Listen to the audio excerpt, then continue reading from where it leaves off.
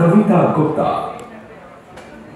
Win over cancer नाम की NGO की शुरुआत करने के बाद उन्होंने देखा कि ब्रेस्ट कैंसर से पीड़ित महिलाएँ हरचीले उपायों के चतराती थी और जीवन भर दर्द सहती रहती थी।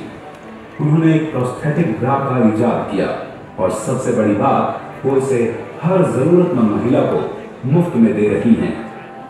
इस महान निस्वता है। केट की पिंपल है।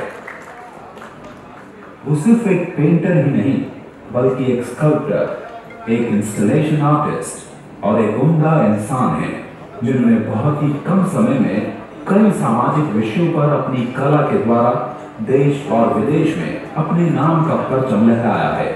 इस बेहतरीन पेंटर स्कल्प्टर और एक कंप्लीट आर्टिस्ट को नाज का सलाम। श्रीमती शिल्पा वर्मा।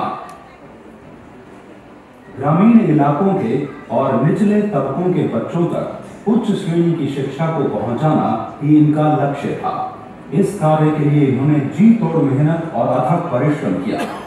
और आज श्री मांगेश एजुकेशन सोसाइटी की मैनेजिंग ट्रस्टी श्रीमती शिल्पा वर्मा जी इस कार्य में बेहद सफल हुई हैं।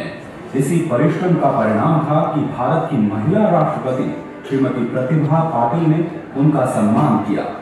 बच्चों को शिक्षा प्रदान करने के अलावा ग्रामीण महिलाओं के उत्थान के लिए भी श्रीमती वर्मा ने कई सारे कार्य किए हैं। इस कभी न थकने वाली घर परिवार कल्याणी नटराजन। शिक्षा के क्षेत्र में एक प्रशिक्षित नाम।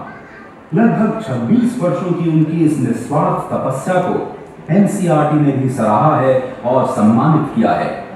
समाज के पिछड़े हुए वर्ग के प्रति इनकी सहानुभूति हमेशा से ही रही है और उनके उत्थान के लिए इन्होंने कई सारे सराहनीय प्रयास किए हैं।